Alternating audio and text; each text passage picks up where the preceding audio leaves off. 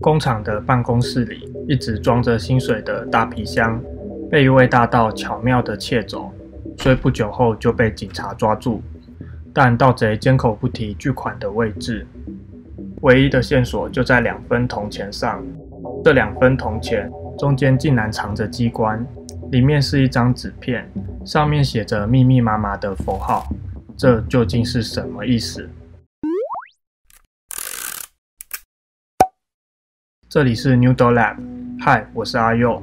刚刚那段故事来自日本推理大师江户川乱步的处女作《两分铜钱》。等等，他的名字是不是让人很耳熟？没错，名侦探柯南的名字就是来自东西方两位知名的推理作家柯南道尔与江户川乱步。除了柯南的名字外，作者青山刚昌也在很多地方向乱步致敬。像毛利小五郎来自乱步笔下的侦探明智小五郎，少年侦探队取自作品《少年侦探团》，怪盗基德近似作品《怪人十二面相》。除了名侦探柯南外，在日本更有一个由老头子组成的金属乐团，就叫做人间椅子，也是来自乱步的作品。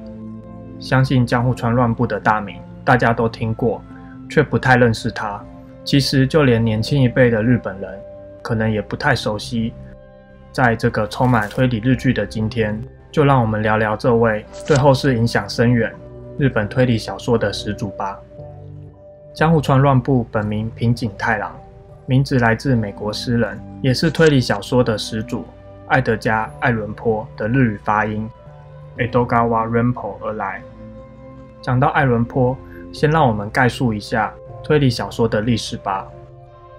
在三千年的文学历史中，推理小说的年纪非常年轻，只有短短两百年历史。史上第一篇推理小说就是爱伦坡在一八一四年写的《莫德格街谋杀案》，这年被后世称为推理小说元年。往后陆续诞生了很多优秀的作品，而推理小说也渐渐演化出不同的分支，像怪盗罗平开创了怪盗的支派。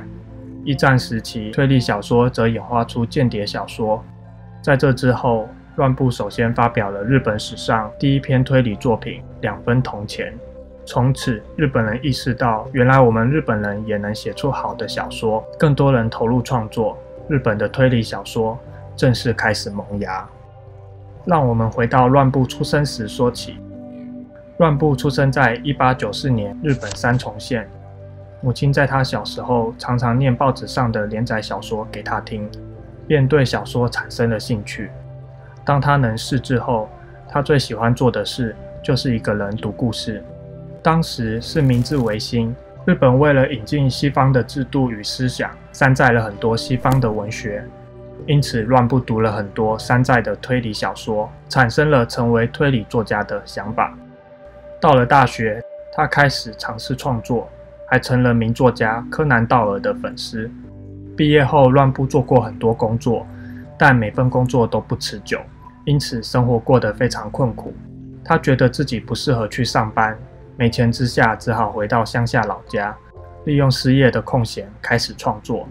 这个决定使乱步穷困的生活出现了曙光。二十八岁时，他创作了两分铜钱与一张收据。这两篇短篇推理小说寄给《新青年》杂志后，从此大放异彩。早期大约是一九二零年左右，受杂志邀稿，以撰写短篇为主。这时的产量丰富，艺术性高。一开始，他主要创作本格推理。所谓本格，也就是正统推理小说的意思，注重推理的理性与逻辑。这类型的小说会把线索都写进书里，让读者一起解谜。而乱步就是本格派的开创者。本格作品在当时还未被广泛接受，他只好尝试从本格转为变革。变革就是着重在犯人变态的情绪与怪诞行径。这种变革作品的风格充满猎奇的成分。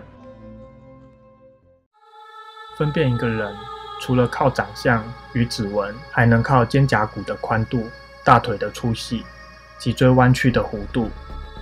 在这里，只有毫无掩饰的肉体、说话的声调和散发的气味。这一切，我能从肌肤的触感来辨识它们，而不是容貌。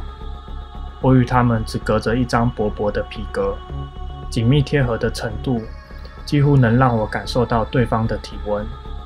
他将全身的重量交付给我，随心所欲地展现原本的姿态时，我可以假装自己正在拥抱着，隔着皮革亲吻着丰满的景象。我是一张椅子。刚刚念的片段来自乱步的人间椅子，讲述一个身形丑陋的椅子工匠把自己变成公共椅子的故事。乱步不只是推理始祖，也是猎奇大师。他在这时期创作很多猎奇作品，是一些病态残虐的题材。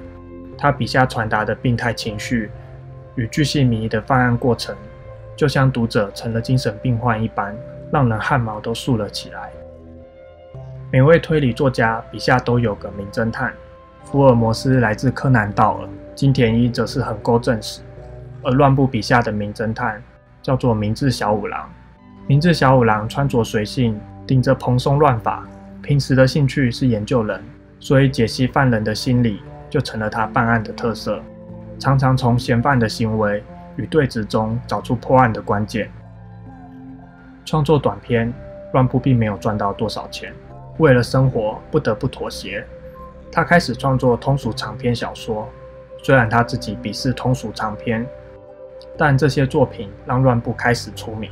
明智小五郎的战场也自然地从短篇转战到长篇作品上。二战时期，推理小说被视为敌国文学，全面禁止。他转向创作儿童文学。二战结束后，他就极少创作了。反将自身的精力奉献在他创立的侦探作家俱乐部上，也是日后的推理作家协会，全力推广侦探小说和挖掘新人作家，并且自掏腰包的举办江户川乱步奖，这也是后来日本最重要的推理小说大奖，像东野圭吾就是从中出来的。最后，乱步享年七十一岁，日本政府授予他紫绶褒章，表扬他在文学上的贡献。最后，我被辗转拍卖，来到您的府邸。夫人，当您看到这里，想必能猜出这封信的来意了。我恋爱了，爱上他完美的肉体，并且千方百计的想让他知道。最早认识乱步是读了小说《幽灵塔》，故事围绕在一座有精巧的机关与齿轮构建的老式钟楼，钟塔中藏着巨额的宝藏。自从一位谜一般的美女出现后，展开的夺宝故事。这部小说与乱步的其他作品一样，没有废话，一气呵成，很值得一读哦。大家还知道什么好看的推理小说，或对日本的四大推理奇书有兴趣吗？欢迎在下方留言讨论，与我们分享哦。